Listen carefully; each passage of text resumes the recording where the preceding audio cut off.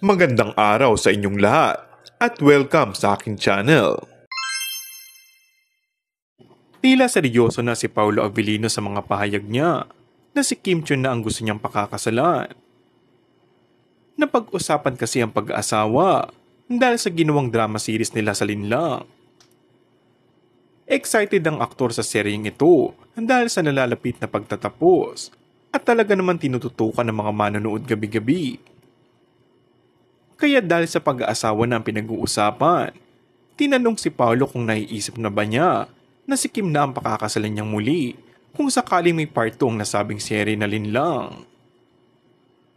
Kagaya naman ng sabi ko, in God's perfect time, nakangiting pikli ni Paulo. Si Kim ba ang wife material para sa kanya? Everything. Nasa kanya na po ang lahat. Loving, caring, sobrang sweet, sobrang bait, sobrang down to earth, and higit sa lahat, very God-fearing, mabilis niyang sagot. Positibo rin ang mga tagahanga ni na Paula Avellino at Kim Chu na mauuwi rin sa totohanan ng relasyon ng dalawa. Dahil ngayon pa lamang umano ay makahalata ng hindi na lamang ba sa trabaho ang dahilan kung bakit ganoon na lamang ang kanilang pagtrato sa isa't isa.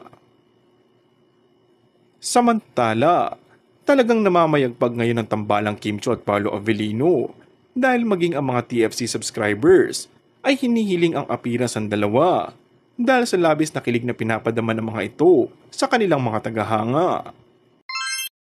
And that's all for our today's video. Kung bago ka lang sa aking channel ay mag-subscribe at pindutin na rin ang notification bell. Maraming salamat!